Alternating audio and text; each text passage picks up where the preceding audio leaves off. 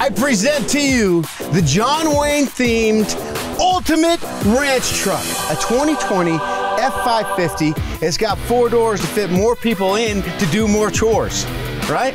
I like what you did there. that was clean. You like what else we did here? Made a custom one-off bumper and grill combo in-house at Sparks Motors. We also filled it with KC lights so you can light up the night and a Smittybilt winch, which everyone needs because the winch is gonna do all the work.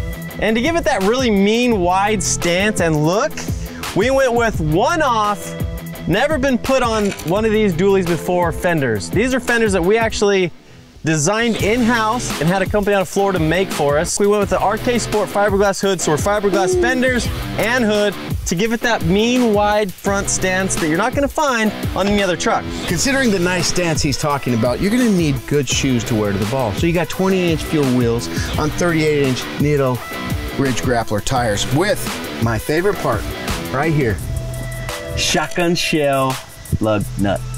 You may know, a lot of that 550s come just cab and chassis. Well, that means we had to put on this beautiful Highway Products bed, which, as you may notice, is polished beautiful. You know why?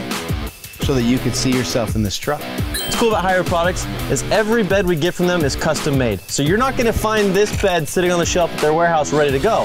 This is something they built specifically for this truck, this application, for one of you, lucky farmers. And look at all the spots you got for tools. Tools here, tools here, tools there.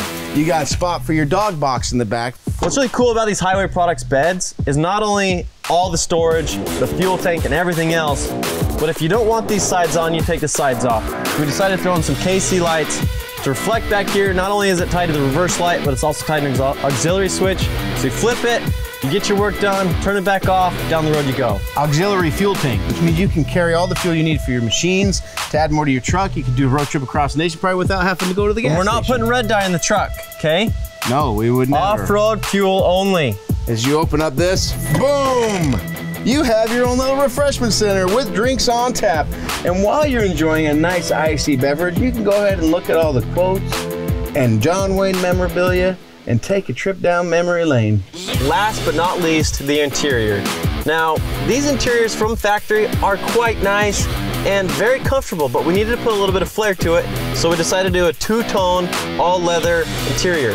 With that, center console has John Wayne photo along with the signature. It's these little touches that we try to do to bring the John Wayne feel and vibe to this truck. So we have signatures in the headrest, his face in the center console.